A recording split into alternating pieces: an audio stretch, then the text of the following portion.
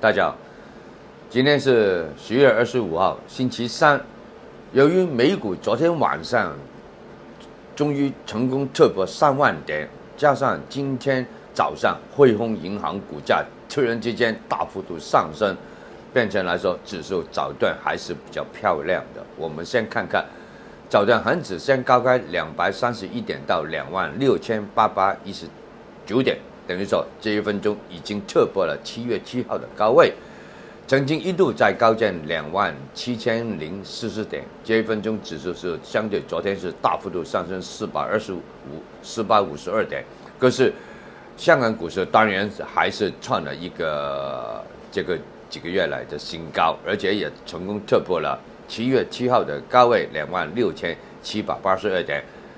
走势方面当然是漂亮，可是内地的股市是有一点点的反复。在下午的时候，上证指数最终是下调四十点收市，那变成香港股市也会受到一定的影响。直到大概下午三点半左右水平，指数曾经一度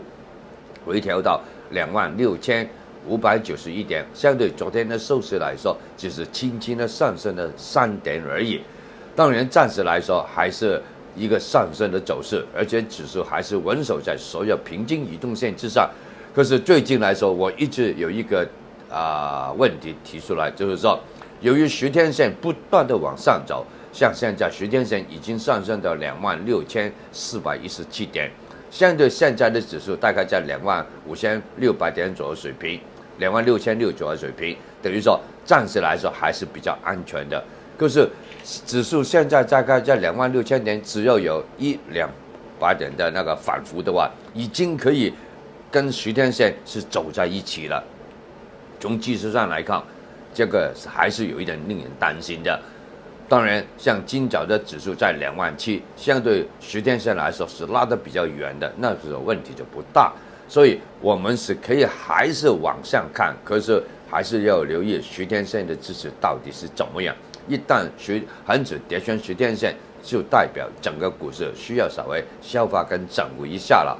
再看看十月份的股市，从那个二号的低位两万四千两百三十二点上升到今早的高位两万七千零四十点，这个月的波幅已经有两千八百零八点，这个幅度绝对不少的了。明天是这个月持续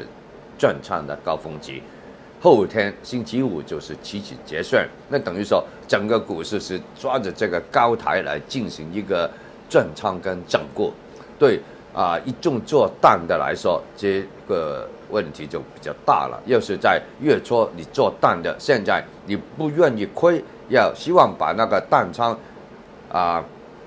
转到下个月份才再看的话，那没问题。当然你转仓的时候又又付出比较大的。比较多的代价了，再看看股份方面，新经济的股份就是只是一般，早段还好，可是下午回来好像是有一点放松了，唯有汇丰股价还是比较偏强的。当然，市场的看法就是未来一段时间汇丰最终是会恢复那个派送那个利息，所以变成来说还是有不短的资金做一个中线的布局的。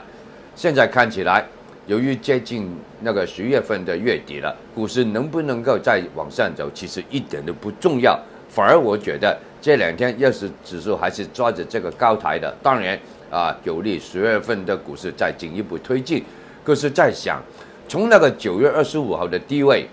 啊一度见过两万三千一百二十四点，到今早的高位两万七千零四十点，其实恒生指数已经累积了不少的升幅的了。这看起来的话，我觉得十二月初股市可能还是有一点点的反复，也不排除稍微出现一个技术上的调整，这个大家有留意。